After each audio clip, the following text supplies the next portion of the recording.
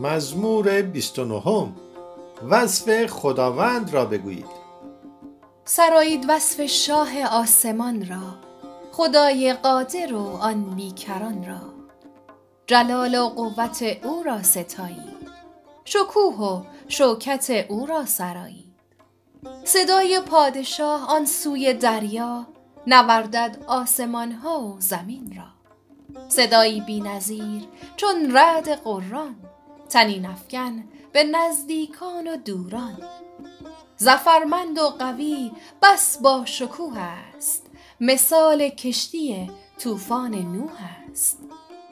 برنده چون تبر بر صدر لبنان مثال زلزله بر کوه هرمان بلرزاند بجنباند همه چیز بیابان کوه و دریا چیز و ناچیز.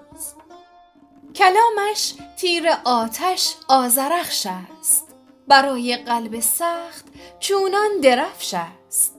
جلالش در کلامش آشکار است. حضور و قوت او ماندگار است. سراین قوم او وصف شکوهش جلالش قوتش مسح و حضورش.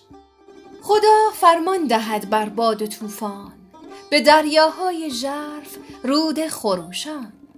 همه آرام گیرن از نوایش صدا و نغمه و صوت و صدایش. بود او پادشاه و مالکم اوست سرود حمد و تسبیح لایق اوست. خداوند قوم خود نیرو ببخشد سرور و قوت و شادی ببخشد.